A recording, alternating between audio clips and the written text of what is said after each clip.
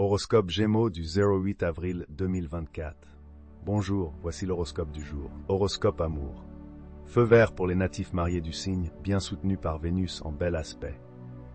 Vie de couple harmonieuse, équilibrée, imprégnée de tendresse et de douceur.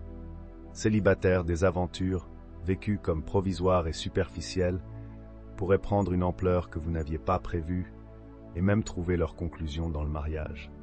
En tout cas, les unions contractées ou décidées ce jour auront de grandes chances de succès grâce à la complicité de Vénus en excellente position dans votre ciel.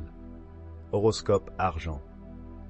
Le bien-être matériel, le confort, la satisfaction de vos goûts esthétiques seront au centre de vos préoccupations aujourd'hui.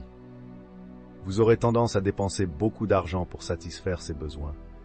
Vous risquez donc de déséquilibrer sérieusement votre budget, sauf si vous êtes du deuxième décan, auquel cas vous pourriez bénéficier de chances exceptionnelles par rencontres, trouvailles, concours de circonstances, cadeaux, dons, remises amiables.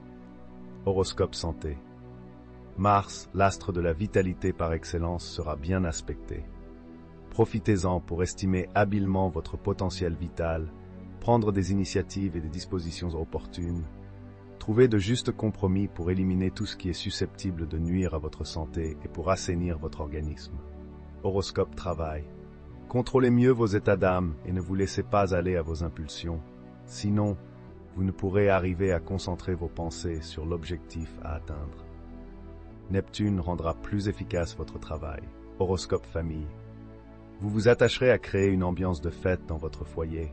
Vous vous montrerez beaucoup plus expansif que d'habitude vos relations avec votre conjoint et vos enfants seront donc très gaies, très détendues. Horoscope vie sociale. Avec cet aspect de Saturne, ne vous confiez pas à n'importe qui et assurez-vous du bien fondé des conseils que l'on vous prodigue.